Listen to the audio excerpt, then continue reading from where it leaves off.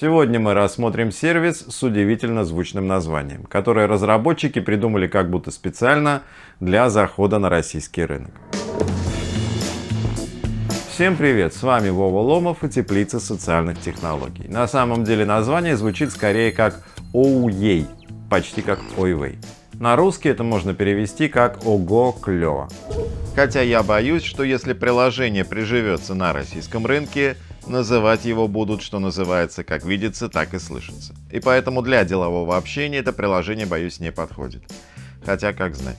Пока регистрируюсь, а регистрироваться здесь обязательно, скажу, что настолько сложного сервиса для видеоконференций я еще не встречал.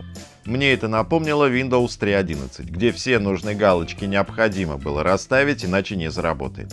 А какие галочки необходимы, не знали даже разработчики Windows. Но вот тут то же самое, с той лишь оговоркой, что заработает, даже если не расставить все нужные.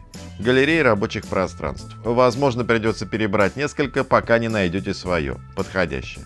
Но все они в любом случае работают, и подходящесть определяется исключительно внешней привлекательностью. Возьмем, например, караоке. Импорт — это значит загрузить к себе, ну как бы установить в свой аккаунт. Можно нажать Explorer, то есть сначала посмотреть, а потом уже импорт, если понравится. Разрешить использовать микрофон и камеру. Да, приложение браузерное, ничего устанавливать не нужно, но в этом его и недостаток. Под Android все очень криво работает. Ну то есть открывается в браузере и не масштабируется, по крайней мере у меня. Join Now и вот о чем я говорил. Вот это вот все, что вы видите, весь этот ужас, который больше похож на After Effects CS 6.0, это просто настройка окна приветствия, который будет встречать ваших коллег. Самое простое здесь это просто удалить ох яй. А дальше вот эти вот кнопки это объекты, которые можно добавить в окно приветствия. И вот так вот мы можем открывать и закрывать боковые панели. А боковая панель, например правая, это не просто боковая панель, а настройки всего этого. То есть, например, можно поменять прозрачность фона. И вот это вот все, это просто настройки. Но не спешите закрывать видео. Постойте.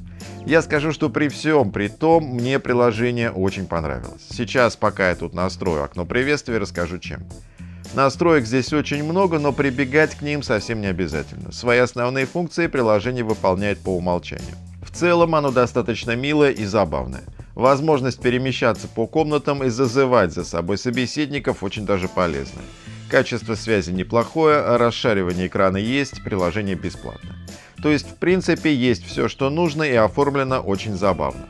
А наличие огромного количества настроек чаще помогает, чем вредит. Да и разобраться с ними в принципе можно. Так, вы находитесь в редакторе, это промежуточная фаза, это собственно play, ну то есть рабочее пространство. Нажимаем «Войти». Окно приветствия, кстати, есть не во всех рабочих пространствах, и вот оно, само заведение. Все, в принципе, просто и понятно. Это я. Могу вот себя двигать, могу включить камеру и общаться с включенной камерой. Тут же я могу включать редактирование и добавлять элементы оформления. Но это пока лишнее. Эмоции, всяческие смайлики и чат, ну, скорее выражение эмоций вербально, ну, точнее, не вербально, письменно. Выключить камеру, выключить микрофон, расшарить экран с возможностью расшарить окно. Скромные настройки. Действительно очень скромные, запредельно скромные по сравнению с тем, что откроется дальше. Здесь у нас копи-линк, то есть пригласить участников. И вот уже полный список настроек. Чтобы вас не пугать, я не стал открывать все, ну, в общем, все, что капслоком, содержит кучу дополнительных параметров. Поэтому закроем настройки. А вот это уже прикольно. Это комнаты. Тут их всего три но в других рабочих пространствах их может быть гораздо больше. И вы можете по ним перемещаться, а следом за вами могут перемещаться ваши коллеги. Аналог комнат в Zoom, но с простой логистикой. Причем вы можете перемещаться не только между комнатами, но и в пределах одного пространства. Опять же, захватив с собой кого-нибудь из гостей. Ну и пора бы уже этих гостей зазвать. Хотя бы одного. Копи-линк, отправляем любым удобным способом – и у нас в караоке-бар появляется Илья Обломов. Правда, он зашел не в ту комнату, можно сходить за ним и пригласить обратно. Типа я его пригласил, вернулся, и он вернулся следом. Тоже отключил камеру, и вот мы вдвоем в караоке-баре.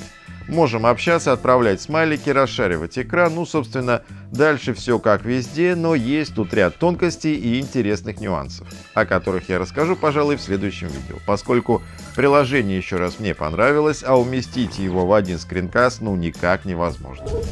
Трудно сказать, смогут ли такие ухищрения нивелировать проблемы с усталостью от онлайн-общения. Онлайн-пространство раскрашивают, а счастья нет. Все любите друг друга и даже в онлайн-пространстве все равно любите друг друга. Подписывайтесь на наш канал, оставляйте вопросы в комментариях к этому видео и пишите нам о том, что еще вы хотели бы узнать у теплицы социальных технологий.